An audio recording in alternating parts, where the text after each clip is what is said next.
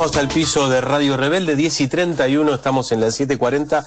¿Querés seguir todo lo que producimos con la revista? Lo puedes hacer en www.amartia.com.ar. Y como te prometíamos hace un ratito nada más, vamos a hablar con alguien que, que, que hace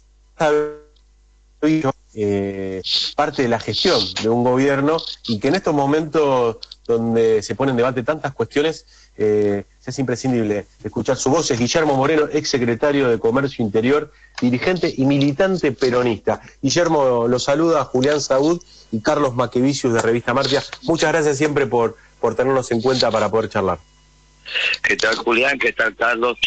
Es un placer hablar con ustedes. Y si hay alguna manera de evitar este eco, bien, si no vamos a tener que ah. hablar más despacio. No, no. No, no, vamos a tratar de, sacarle el eco. A ver, seguramente ahí nuestro operador va a hacer lo posible y si no, cortamos y volvemos a llamar a ver si lo podemos romper. ¿Ahí siente bien? ¿Siente el eco todavía? A ver, no, parecería que no. No, eh, cuando hablamos de operador, eh, nuestro operador es un, genio. Y yo lo quiero, lo queremos meter en, un debate que nos parece central, ¿no? Eh, algo de esto decía Perón, ¿no? La política era la política exterior y todos sabemos muy bien que estamos en un contexto de hace tiempo de guerra comercial, o por lo menos así, así se titula entre lo que puede ser China y Estados Unidos, una tensión a nivel internacional, Rusia como, como uno de los emergentes más importantes a nivel continental, el rol de la Unión Europea. ¿Cómo ves este, esta tensión y qué rol juega Argentina y qué rol debería jugar en, en, este, en este contexto donde la pandemia, por supuesto, puso de relieve las miserias humanas del capital eh, eh, a lo largo y ancho del mundo? Mire, lo que básicamente tiene es los países empezando o sea, es muy difícil conversar así, ¿no? la verdad que... Ah, ¿tiene, ¿tiene eco? No, sí, sí, pero peor que... Bueno, espere que ahora lo, cortamos y lo volvemos a comunicar. vamos, Ahí está, volvemos, volvemos a llamarlo a Guillermo Moreno que no, sin eco no se puede hablar, por supuesto. Eh, a ver si podemos hacer una mejor conversación. Y estábamos arrancando con este hombre que, ¿cómo lo puedes describir, eh, Maque? No, y me parece que eh, un militante, eso está claro, cómo se, cómo se define él. Y a mí me parece una voz que yo recontrabanco, te digo. ¿eh? eh está hablando en muchos lugares, ahora le vamos a preguntar algunas cosas, qué perspectivas tiene para el año que viene pero me parece que... Ahí está, a ver, ahí está, está, está de vuelta, Guillermo, ¿se escucha bien ahí? ¿Qué tal? Sí, ahora mientras ah. tengamos señal, te voy a escuchar porque ahora estamos hablando por, por internet, pero bueno, se escucha mejor que por la línea. Se escucha perfecto. Te decía, ¿se, escucha bien? Sí, se escucha perfecto. Bueno, te decía, lo que ha habido un cambio rotundo desde la asunción de Trump a escala global pero yo te diría que la Argentina tuvo bastante que ver con eso. Es la reasignación de los países de su política exterior a partir del interés nacional. La globalización, con el triunfo rotundo del neoliberalismo y de la socialdemocracia, y esto es muy importante que se tenga en cuenta. La socialdemocracia y el neoliberalismo piensan lo mismo en términos económicos son lo mismo.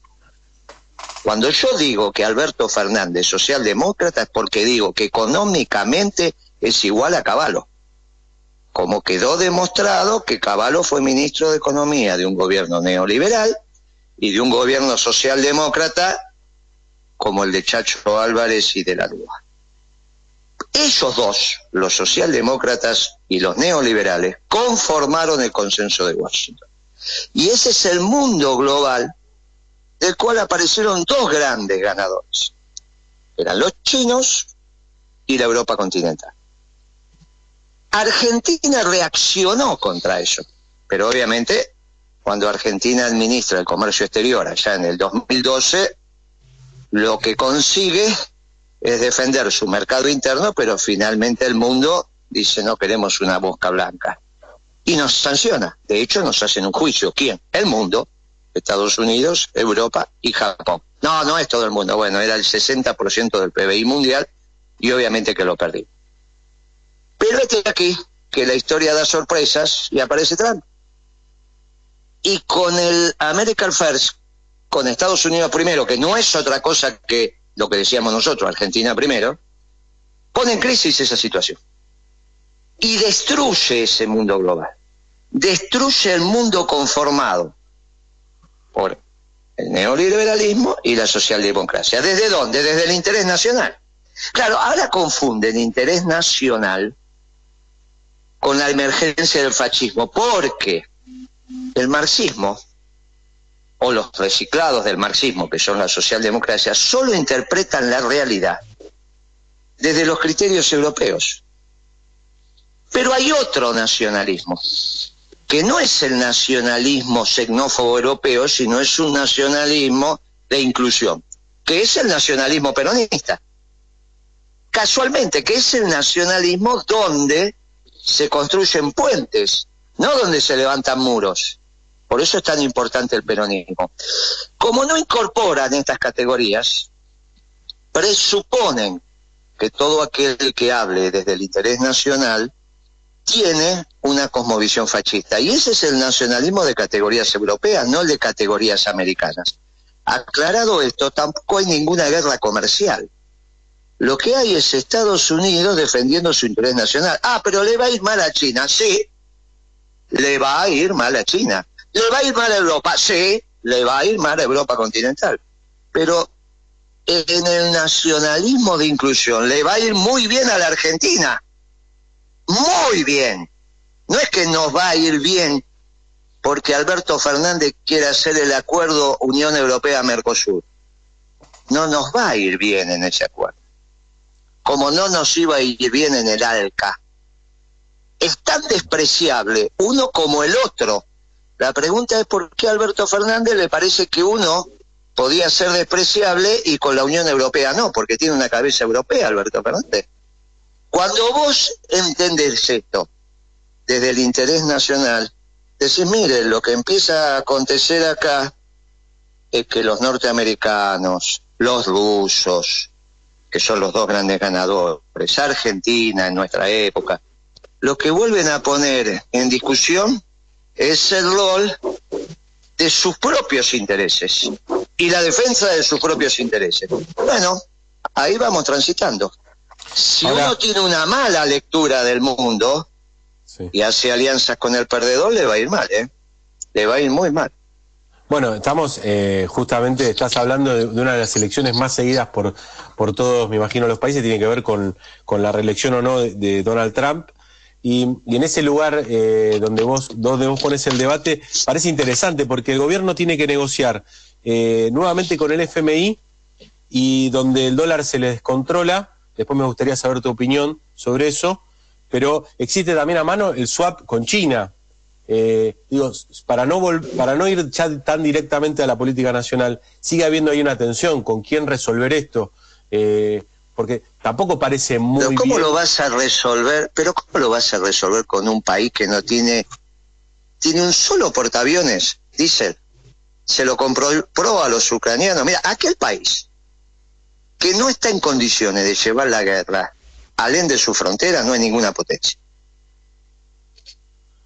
No es potencia. esto, esto no hace falta ser un estudioso de las relaciones internacionales. Así se construyó el mundo. Ahora, yo la, verdad que no los entiendo. La verdad que no los entiendo. La verdad que este, este, este, enamoramiento, este enamoramiento con los chinos, la verdad que no los entiendo. Este swap que vos hablas, ¿sabés quién lo inventó? Redrado. En el 2009. Pero ¿a vos te parece que una brujería que inventó Redrado puede ser satisfactoria para resolver el interés nacional? Es ridículo esto. Es ridículo. Eh, Guillermo, buen día, te saluda Carlos Maquivicius. Eh, y eh, en este, en este sentido que, planteas, que es muy interesante, de, cerrar de alguna manera con, Estados Unidos en términos. No, yo no dije Estados Unidos. No, yo no dije Estados Unidos. ¿Y con quién dije que es ridículo cerrar. Y tenés Rusia, tenés el Papa. Rusia. El único, el único respetable acá, al único que le temen es a Putin por la capacidad que tiene de llevar la guerra más allá de su frontera a través de los misiles. Claro. Es la teoría de los jóvenes. Escúchame, esto se estudia desde hace 50 años como mínimo. Es la teoría de los juegos. ¿Cómo arranca la teoría de los juegos en términos decisionales? Con este esquema, donde las decisiones de uno están en función de las decisiones del otro. Pero que no es algo novedoso, es simplemente sentarse a leer lo que está. Y cómo se construye. ¿De, qué están hablando?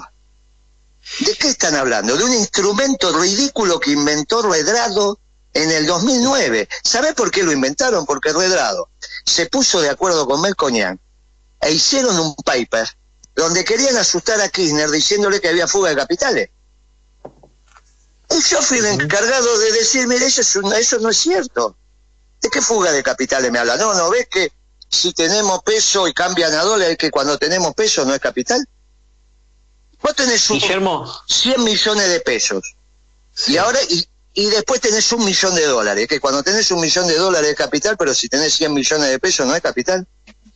¿Pero qué les pasa en la cabeza? ¿Qué es lo que les pasa? Bueno, les pasa que no son serios. Ahora, pero, pero fuga hubo eh, en términos de llevarse los dólares afuera. Pero ¿cómo va a haber? Pero, ¿qué, y antes de que comprara los dólares, ¿qué tenías? ¿Porquerías en la mano? No, tenías peso y vale, y vale el peso, por supuesto. Y entonces, ¿Y, pero, entonces, qué nos quiere decir con eso, eh, Guillermo? Que habría que haber contado esa... pero es que es una tontería eso de redrado, es una tontería lo lógico que están haciendo. ¿Cómo me vas a vos a comparar una negociación con el Fondo Monetario con un swap con China? ¿Pero cómo? ¿De qué estamos hablando? ¿De qué estamos hablando? Son dos cosas absolutamente distintas, no tienen nada que ver una cosa con la otra lamentablemente con el fondo tenés que ir a una negociación. Macri hizo lo que hizo, el Congreso lo aprobó y se acabó. Ahora tenés que renegociar. Y el Fondo Monetario va a renegociar de la misma manera que renegociaste con los acreedores extranjeros. Lamentablemente ganó Macri las elecciones. Lamentablemente aquellos que pensaban que el candidato nuestro era parecido a Macri, que no había tanta diferencia, bueno, acá se ven las diferencias. ¿Vos te acordás cuando decían eso hace cuatro o cinco años atrás? Sí. Bueno, los mismos que ahora te quieren explicar la política son los mismos que en el 2003 votaron a Carrió. Que nunca votaron a Kirchner. Son los que ahora te quieren explicar la política. Porque en el 2009, cuando fue la segunda vez que lo podía votar, votaron a Sabatella. no te olvides que Sabatella fue contrincante de Kirchner, ¿está bien? Sí, claro. Con esos cinco puntos de no votaron nunca aquí. Después empezaron a explicar que Cristina era distinta que y que con Cristina sí están, viste, se sienten más cómodos. Bueno, Guillermo, y, y, esto, Lo que te digo es que no estar explicando la política ahora, es una locura. Sí. Claro, claro. Guillermo, esta, me interesa que, si te parece, expliques un poco esta cuestión de, bueno, hay que reconocer la deuda con el FMI, ¿Quién la paga? Yo sé que vos tenés una definición al No, ¿Cómo, es? No, no hay posibilidad de que no se reconozca la deuda. La deuda está. No sé qué quieren hacer, qué, quieren decir. La deuda está, la reconoció el Congreso, no es que la reconozco yo, la reconoce otro, está reconocida. En cada ley de presupuesto que se aprobó, y la aprobaron, la ley de presupuesto del Congreso, está metida la ley, la, me escuchás? Sí, ahí se fue un poquito, pero estás ahí. El tema es que al estar hablando por internet, dar un llamado. claro, y se te corta. Es servicio público. hay que, vamos a esperar que se corte. Ahí se escucha perfecto. ah, porque está. Este llamado. Claro, entra un llamado por línea. Este es el problema. Bueno, lamentablemente la comunicación no es todo lo, lo, técnicamente claro, lo técnicamente adecuada que tendría que ser. Bueno, y esto cada vez se va a poner más difícil, como te podés imaginar. Eh, la deuda son las que son y están reconocidas en el último presupuesto. Si no negocias con el Fondo Monetario vas a tener un lío bárbaro porque te vienen los vencimientos ahora nomás. Por lo tanto, lo vas a tener que hacer. Esa negociación va a ser una negociación difícil, pero se va a alcanzar eso no, no es un tema que me preocupe.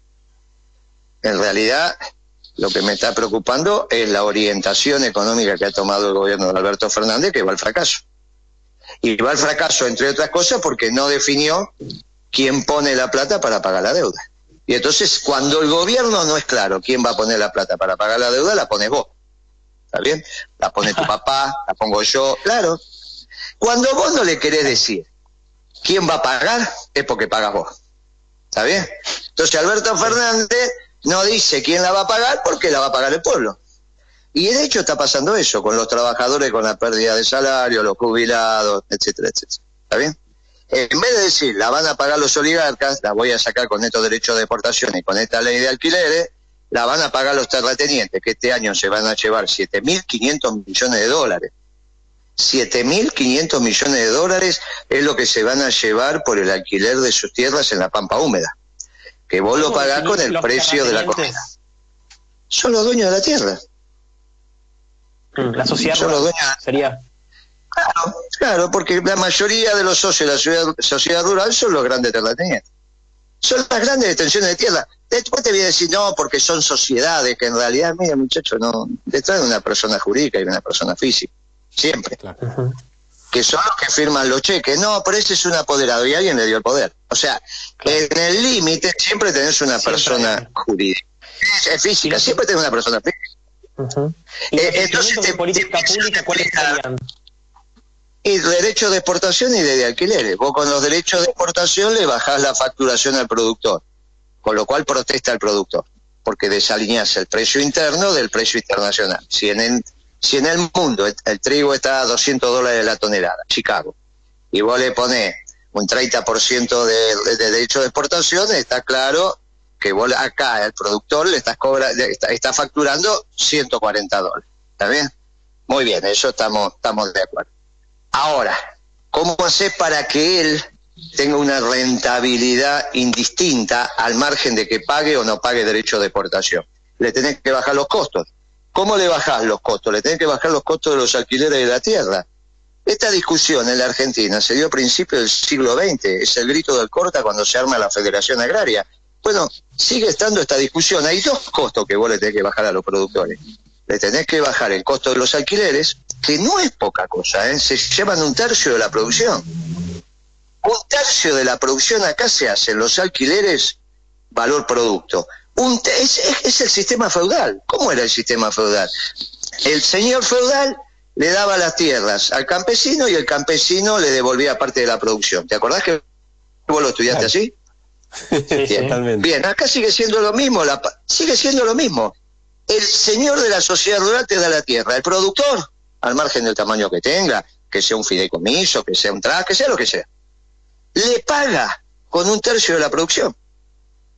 Lo mismo que hacía el campesino en el sistema feudal. Lo que tiene que irrumpir es el capitalismo en la pampa húmeda. Muy bien, ¿cómo le bajás los costos?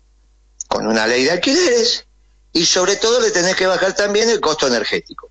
Cuando vos le bajás esos dos costos, aunque el productor factura, sí, energético, que es Cuando el productor, vos le bajás los costos, si bien le bajaste los precios, el precio de venta, en el quantum del derecho de exportación, también le bajás los costos. Y entonces el productor queda en una curva de indiferencia. ¿Quién es el pato de la boda? El dueño de la tierra. Y es lo que corresponde. Ay, no, eso no se puede hacer porque se van a enojar. Ah, vos querés hacer tortillas y romper los huevos o que se enojen los jubilados, o que se enojen los trabajadores o que se enoje la clase media. Típica, típica, típica conducta socialdemócrata. Típica conducta socialdemócrata. Típica, ¿eh? Ahora, Guillermo, eh, con respecto al, dólar, nos interesa mucho también tu opinión, porque eh, ante una situación de tensión cambiaria, eh, el gobierno tomó distintas medidas, el Banco Central también lo hizo así, eh, que, tendían a poder controlar esa sangría de dólares. Las cuentas que hacían era que eh, el dinero que se iba, eh, no solamente en términos de lo que la gente acaparaba para, ahorrar en dólares, dólares, sino también estas empresas que utilizaban sus deudas. Está bien, yo te, pero está clarito, está, clarito. Yo te pregunté, ¿por qué nuestro gobierno no pasó eso con Kirchner? Que eran todos buenos en esa época. No, seguro que La pregunta es, muchachos, ¿por qué en vez de copiar las estupideces de los radicales no copian a Kirchner? ¿Por qué en vez de copiar las tonterías fracasadas de los radicales no copian a Kirchner? ¿Por qué con Kirchner no pasó todo eso? Que eran buenas las empresas en esa época. Eran buenas. No, podemos O sea, decir que... vos tenías Claro. Había superávit comercial. robusto, enorme superávit comercial. ¿Pero que fue por arte de magia el superávit comercial? ¿O es porque había un equipo de gobierno con quien era la cabeza que trabajaba para eso? ¿Y, cómo estaban puede las hacer- cuentas? ¿Cómo estaban las cuentas fiscales? Sí, sí, había ¿Y superávit. qué fue por arte? Ah, bueno, ¿y qué era? ¿Por arte de magia o se trabajaba para eso? Sí. Bueno, se trabajaba, Claro, había, un, había un gobierno coherente. Había un gobierno que sabía lo que había que hacer y coherente y no le echaba la culpa a la sociedad. Ahora también te están echando la culpa de los muertos. Que los muertos que la gente no se cuida y sale a la calle. Pero ¿qué manera de conducir es eso? ¿Pero qué manera de ver la realidad es esa? Es la manera socialdemócrata. Ay, yo soy bueno, pero la realidad no me deja. Ahora, Vamos, pero che. por- ¿nos puedes explicar, Guillermo, porque es muy importante esto?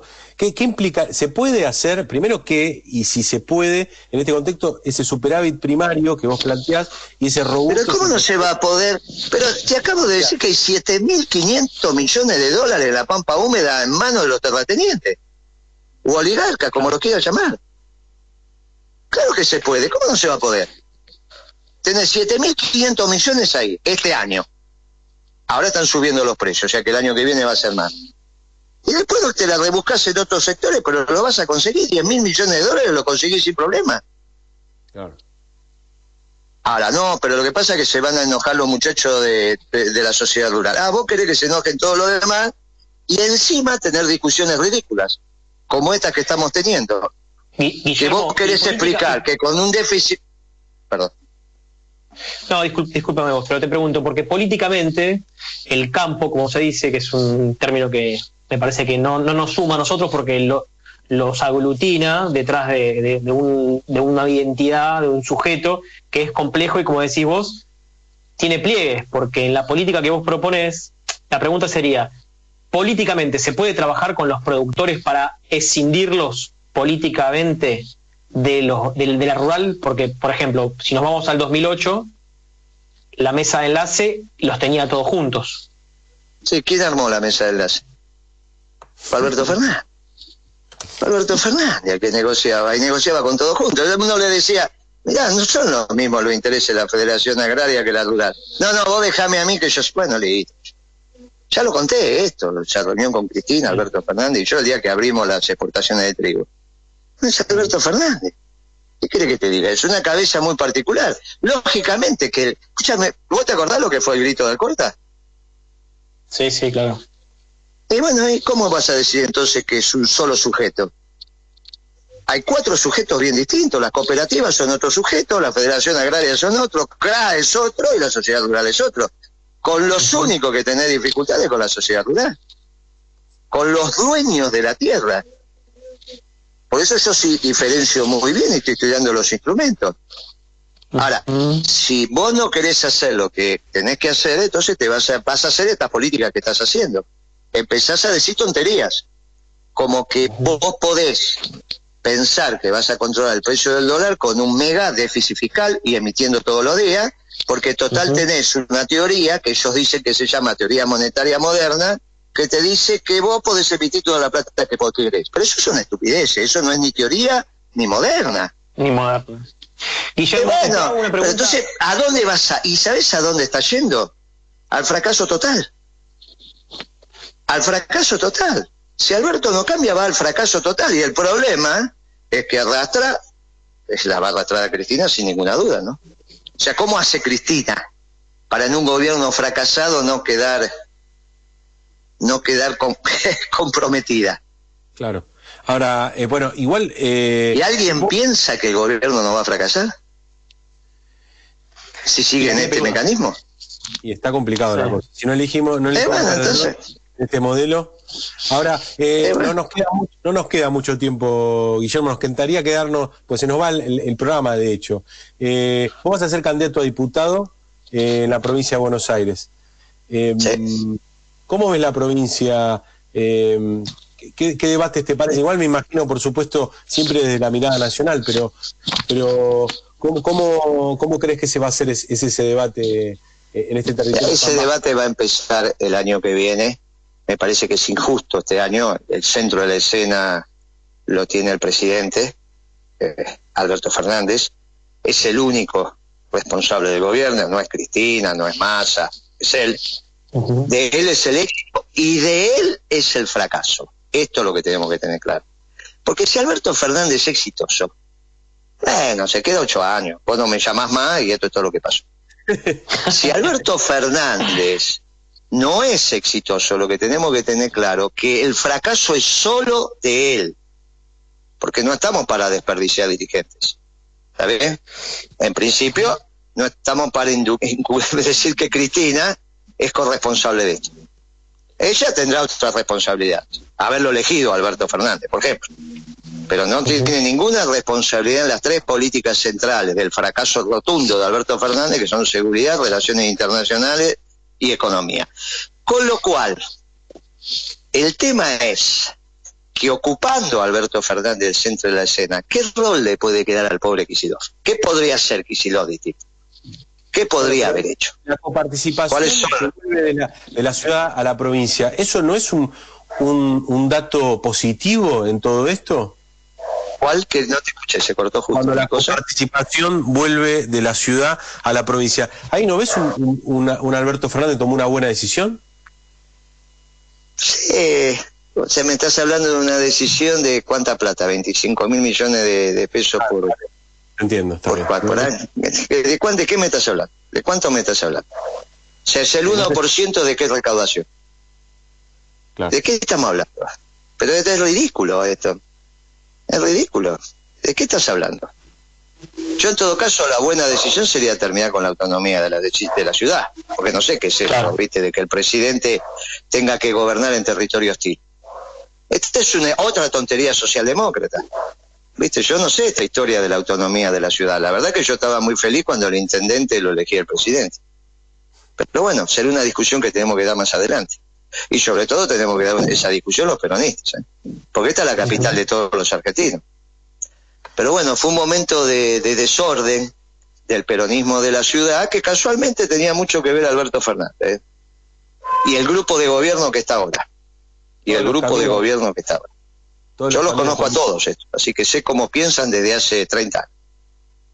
Todos los caminos Porque desde hace 30 años que los conozco. ¿eh? Yo la primera vez que los conocí, yo era presidente de mi centro de estudiantes. Y te estoy hablando año 83, 83, 84. ¿Está bien? Todavía no tenías la ferretería, ¿no? Sí, ya la tenía, sí. Mayoreo de ferretería ah, ya, la tenía. Yo ah, tuve primero el mayoreo de ferretería que empecé a volver a estudiar economía, va a empezar a estudiar economía. Yo estudiaba ingeniería. No, no sé, es el mismo negocio que tuve toda la vida.